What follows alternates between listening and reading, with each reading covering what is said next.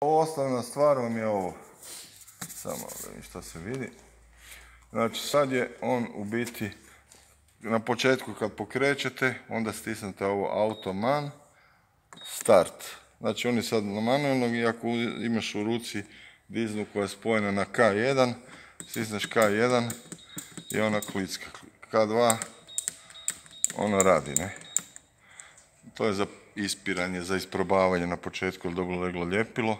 Onda kad se ide na automatsko, opet auto, start i ovdje piše dis, to znači disable, isključeno. Start, uključeno. I onda će ona na fotočeliju se uklijetati, tamo je enkoder na stroju koji nam očitava. Štelanje programa ide po tom principu da stisnete program, odaberete kanal koji štelate. Ovo K1 znači dizna K1, to je na tamo. ST1 znači fotočelija koja je tamo. Ako budete bilo šta mijenjali, a mijenjat ćete s godinama, bitno je da znate da su fotočelije nisu PNP nego NPN. I onda ide prvo B1, znači onaj prazni period gdje ne lijepi. Onda E1, dužina ljepljenja i dalje sve budu nule.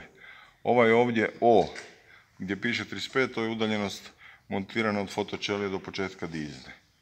I start, tu smo u redu. Imate još ovo, set aux. Znači prvo imate rezoluciju enkodera, disk, ovaj znači da vam je jedan okreta enkodera 188 mm kretanja gurtne, odnosno kutije. Ja sam stavio namjerno da je minimalna brzina 0, maksimalna 5000, jer to isto zna zvezati. I sad bi ovdje mogli smanjiti, na primjer, na 80% od pritiska ukoliko idete preko proporcionalnog ventila. Stavit ću opet, ajde stavit ću 95, da kuže da se to mijenja. Enter. Start. I to je to. Ovdje vam uvijek pokazuje brzinu rada. Ovdje, malo drži snimljeno ovdje. Ovdje pokazuje kad fotočeliju očita. Samo malo. A neće sad, jer je, vidi se, više ovo jeste jedan. Vidi da je očitao. Mhm. Ovdje vam govori kojom brzinom Dobro, ali to sve piše u onom user manual. Je, je. I ono